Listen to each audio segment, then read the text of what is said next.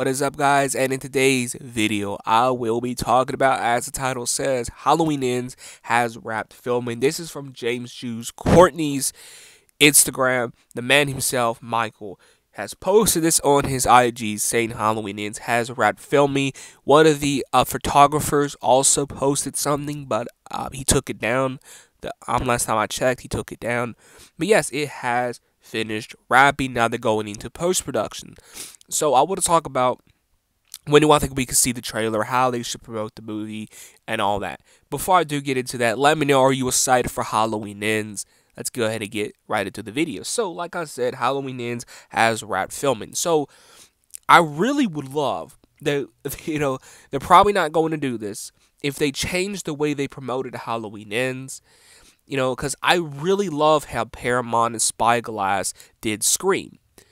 So I would love if Universal, Blumhouse, Jason Blum, all of them treated Halloween Ends as a big event like it should be treated. And what I mean by that is look how they promoted Scream. Look how Spyglass and all them promoted Scream. They went all out.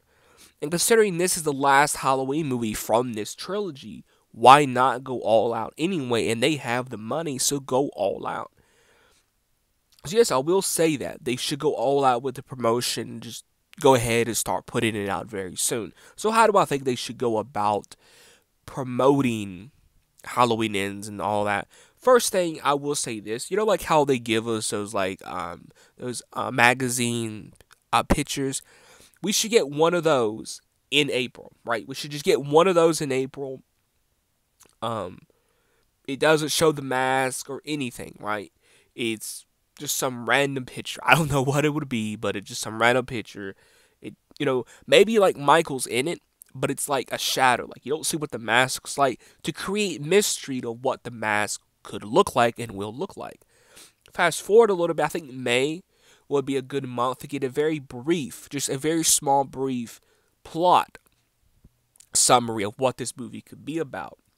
And then I feel like June. June will be an interesting month because I don't think they should release a trailer in June or anything like that. What they ought to do, what they should do, they're probably not, is just release a very small teaser with a poster. Yes. In June, I think we should get just a teaser with a poster. Fast forward to you know, fast forward to July.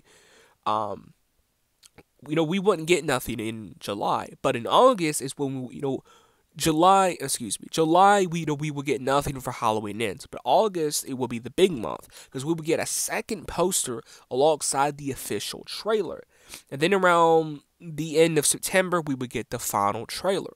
I think that's how they should promote Halloween ends you know, they should promote it like that and they should treat it as a big event like it should be treated in the first place. But yes, Halloween Ends has wrapped filming. How do you think they should go about promoting it? Like I said, I would love if they did it like how they did Scream, go all out. You know, don't show too much footage, keep it very simple you know, don't have a lot of people talking about the film and just keeping you know a very tight lid on it. And June is when we get official poster and a very small teaser that barely shows anything. So yeah, let me